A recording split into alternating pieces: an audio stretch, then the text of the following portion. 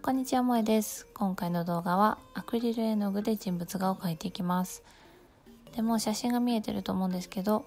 こっちはマイケル・ジャクソン、そしてもう一人、えプリンスを描いていきます。でこの絵は、えー2016年に描いたものなんですけど、えーこの年にプリンスが亡くなりました。で、その時にちょっとプリンスを称えて、えーチョークアートの大会の時にこの絵を描いたんですがキャンバスにも残したいと思ってこの絵を、えー描きました。でキング・オブ・ポップとプリンスということでゴールドの金の額縁に入った写真っていう感じの絵を描いていきます。でこの、えーチョークアートバージョンは動画にもしているのでそちらも、えーよかったら見てもらえたらと思います。で今回はあの白黒の人物画なので、えー人物画を、えー始めたいとか描きたいとか思う方は結構白黒から入ると楽かなと思います。結構あの白黒の方が難しいんじゃないのってよく聞かれることもあるんですが多分というかあの白黒の方がこう明暗とかこうコントラストも出しやすかったり、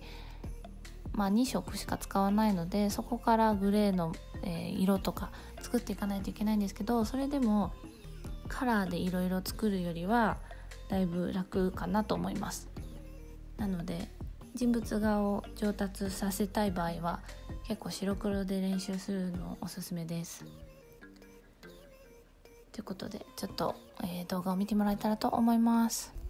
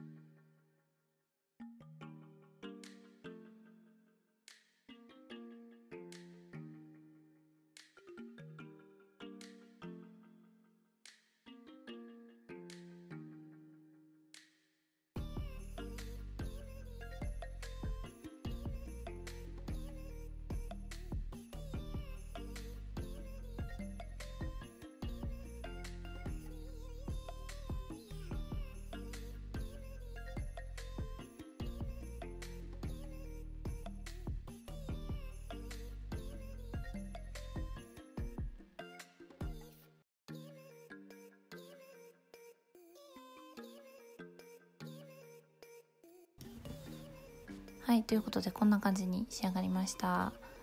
えー、ゴールドの額に入った2人の写真っていう感じに描きました。でこの額の部分も結構リアルに見えるようにちょっと影とかつけて描いてみました。これにまた額を入れて飾るんじゃなくてこのまま、えー、額に入っているようなキャンバスっていう感じに仕上げました。この動画いいと思ったらいいねボタンよろしくお願いします。ではまた次の動画で。バイバイ。